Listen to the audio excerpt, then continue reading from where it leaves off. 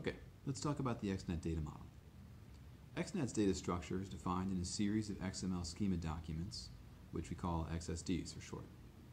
There are three core data types in XNAT XSD, projects, subjects, and experiments. The, there are two additional core concepts to understand as well, assessors and resources.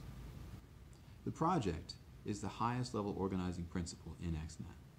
Often, but not always, you would have a single project for each research study. All data in XNAT is, must be associated with a project, and this is how you control user access within XNAT. A subject refers to any one or anything that is participating in your research study. Normally that's a person, could be an animal in the case of preclinical imaging studies, could be an inanimate object in the case of tracking scanner phantom data. An experiment is any instance where you're collecting data in your project. An assessor is a type of experiment that adds data that is relevant to some other data in your project already. So most of your experiments are going to be performed on subjects. So we have a class of experiments in the XNAT XSD called subject assessors. They're called subject assessors because they're assessments that add data that is relevant to your subject.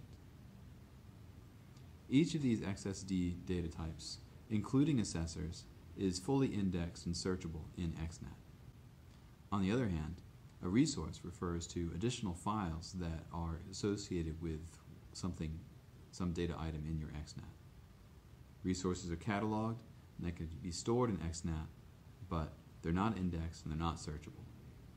An example of a resource would be an image file, a PDF document, or some other background reference document. Among experiments and subject assessors defined in the XNAT XSD, there is a special class for image sessions. An image session is defined as a type of experiment that combines scan files with other indexed metadata. Scans are not unique experiments unto themselves and thus are not searchable, but they can have resource files. This is how DICOM files are stored and associated with your, in, with your indexed image session. Image sessions are often used as inputs to processing. The outputs from that processing, such as a FreeSurfer report, are stored as image assessors. The XNAT XSD is endlessly extensible. Nearly every data type in XNAT extends the core concepts of a subject, an experiment, an image session, or some kind of assessor. And we're going to talk a little bit more about how to add support for data types in a later lecture.